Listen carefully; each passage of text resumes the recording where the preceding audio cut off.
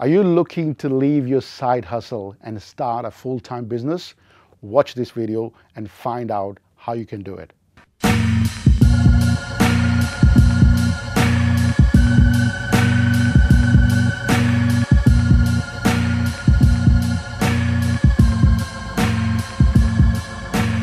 Let's talk about how you can actually move out of your side hustle and start working full time in your business. So, one of the things you need to really understand that what market is looking for at the moment. So I want to give you this example. So today you're standing here. Say for example, you're working for somebody else and you're making, I don't know, $100,000 today.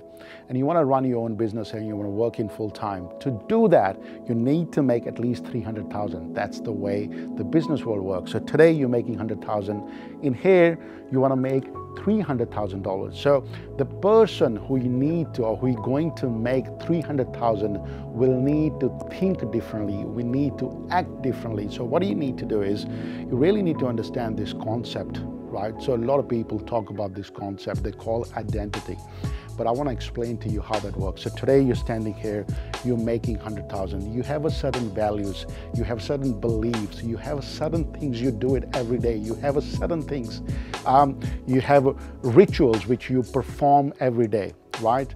To make the money here, the person makes 300,000 that person has a certain values and belief system and values. So you need to understand and believe that what this person has to do or this person has to believe, which that person is not believing to make that happen.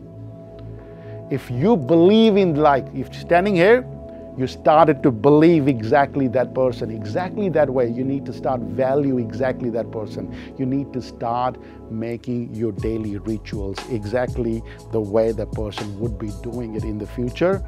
You'll start to have that experience. I'll give you an example. What happens today? Everything you're doing is a feeling, nothing else. So, what is the quickest way of doing it? You can start feeling about that from today. I've seen again and again a lot of people make a mistake that I'm going to be happy when I make a million dollars. Uh, I'm going to do this when I make a million dollars, or um, when I buy a new house, or when I buy a new car. So you have a certain triggers, but you need to understand it.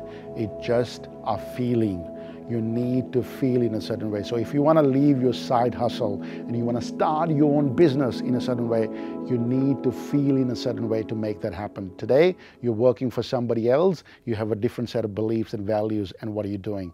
For this person to do in a certain way, you need to learn to believe in certain ways. People love what they do, but they forget biggest aspect, what market wants.